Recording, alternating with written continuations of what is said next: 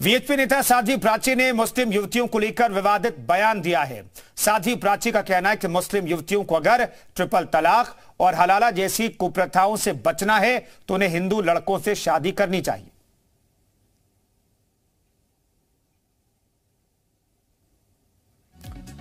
तो यह इस वक्त की बड़ी खबर।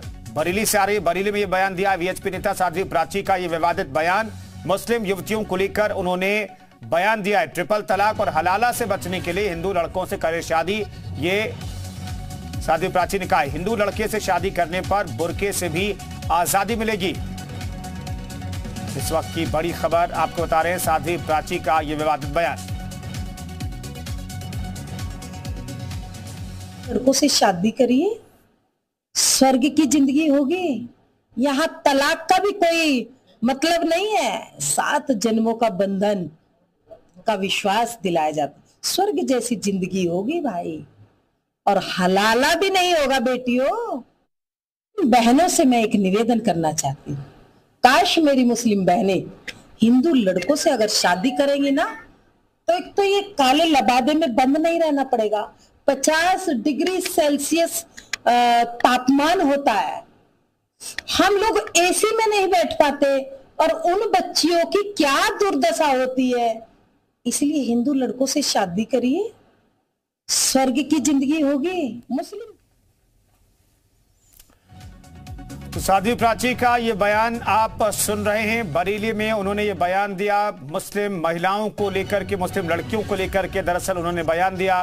वो कह रही है कि हिंदू लड़कों से अगर मुस्लिम लड़कियाँ शादी करती हैं तो उन्हें ट्रिपल तलाक जैसी कुप्रथा से नहीं गुजरना पड़ेगा। हलाला जैसी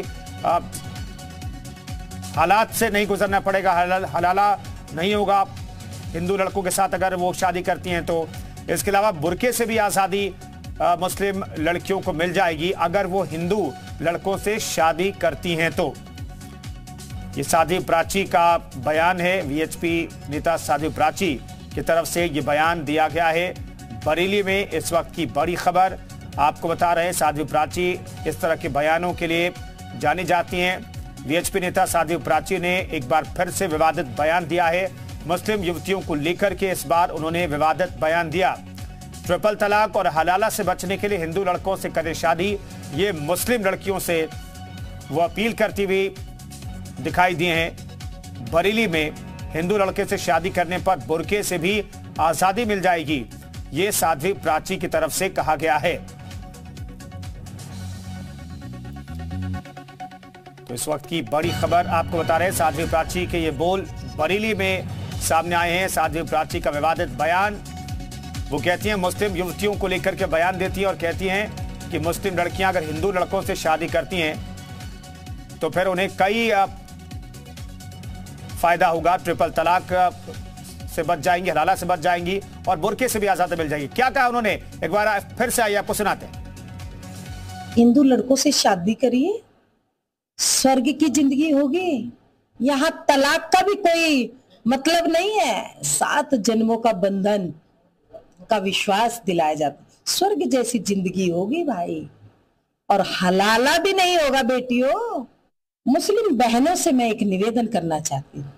काश मेरी मुस्लिम बहनें हिंदू लड़कों से अगर शादी करेंगी ना तो एक तो ये काले लबादे में बंद नहीं रहना पड़ेगा। पचास डिग्री सेल्सियस तापमान होता है।